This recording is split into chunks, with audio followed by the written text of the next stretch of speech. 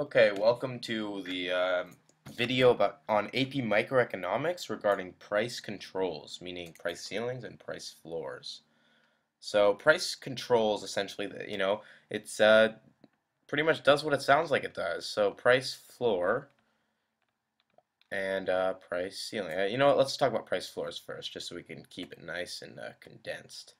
So pretty much a price cannot go below a price floor. If you think in your house you're standing, you can't really go below the floor. The floor is holding you up. So you can think price floors hold up the prices. They keep the prices above where they are. So if we're going to look at a, a normal old supply and demand graph, um, again, this can be for a firm or a market. Sorry, yeah, this can be for a firm or an industry or market. Um, generally it's you're going to be looking at it for a market but uh, let's just draw here. We have our demand and we have our supply. Now equilibrium sorry let's get our labels. It's going to be price level. This is going to be quantity demanded of whatever good. And now let's look at our equilibrium levels first. We have at equilibrium, we have a price of, let's say, let's say this is at $10 for whatever good this is. And we have a quantity of, let's say, a 100. Okay. Um, and actually, in the AP exam, you're probably not going to have to use uh, numerical values for price and quantity, which is great, I think. So, what you want to know about price floors, which is incredibly confusing at first, is that when they're instated, they always go above the equilibrium level. And it's drawn as this straight line right, right across, always above the equilibrium level. Now it's confusing because, you know, floors are at the bottom, but, you know, you know, floors are, you know, below you, but they're above the equilibrium level. Because basically they're saying, we don't want this price here, this equilibrium level. We want it above the equilibrium level. So we're going to set a price floor here so that it can never go below this level right here. And so what that does effectively is, again, if this is a binding price floor, meaning if it's an effective price floor, it will go above this equilibrium level. What that does is, if we see, this is going to be our new price right here, right here, okay? This level, this is going to be our P prime or whatever. That means where this price hits demand, we're going to drop down. And where this price hits supply, we're going to drop down. Now, these quantities, okay, so let's say this quantity is 50. And this quantity is 150. This is the quantity supplied, because this is where the price hits the supply curve.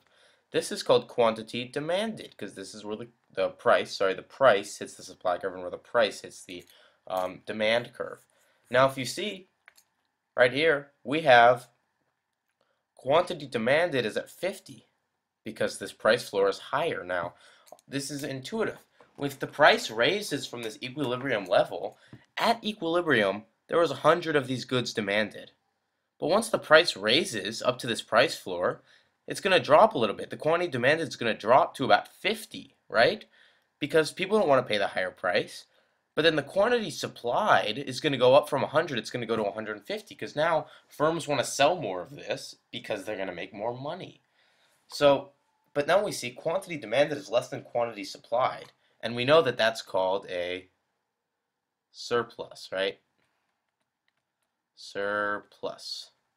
So we know that quantity supplied minus quantity demanded is equal to our surplus level. And that's pretty basic. It's not that hard. Now we're going to talk about price ceilings. Let me just get the back, black background back. Um, okay, now let's talk about price ceilings. Pretty much the opposite.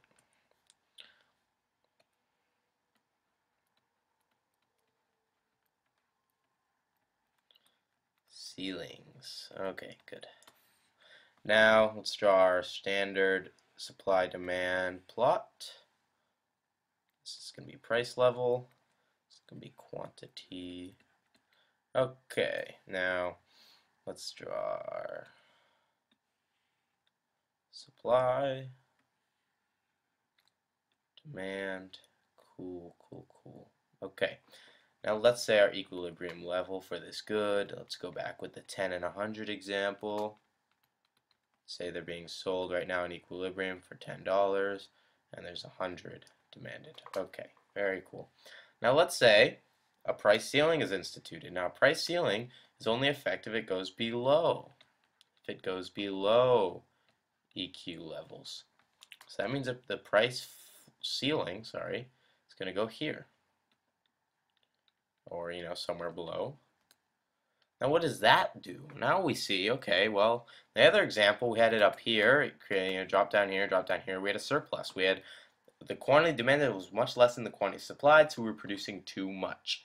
But now let's say if the price is just simply too high and the price needs to be lowered, prices cannot raise above a price ceiling. So they cannot bump above this. There's going to be upward pressure on this, but they cannot bump above this level, okay, at all. So what that's going to do is if the price is reduced, the quantity supplied right here, this is quantity supplied, is going to go down. It's going to go from 100 to this, let's call this 50. It's going to go down from 100 to 50 is the quantity supplied because firms don't want to sell goods at this lower price now. They don't have that much incentive to sell a good.